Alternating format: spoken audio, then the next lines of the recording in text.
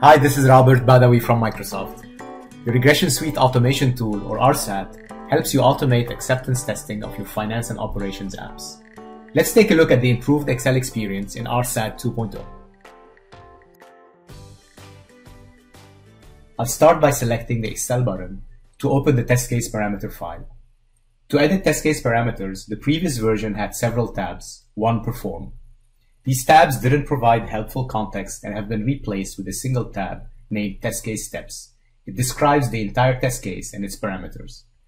Input and validation parameters are placed directly next to their corresponding test case step, providing test authors with more context and a simpler experience. When you modify parameters, it's now clear what steps of the test case you're affecting. You can enter values or formulas in context. I'll go ahead and modify a few parameters here. Also, changing validation values is now simpler and clearer.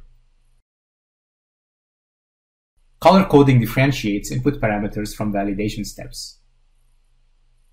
In addition, reusable variables that were copied while the test case is being recorded are shown in the context of the test case step. Copy a variable to use it in the next test case. Now save your changes.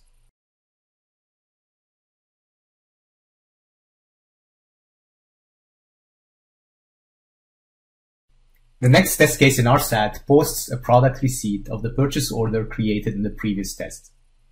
Open the next Excel parameter file and paste the purchase order ID variable right in step 4. Step 4 is the step in the test case where the user enters the criteria for the purchase order they are working with. Also use the purchase order ID variable in the formula for the product receipt ID.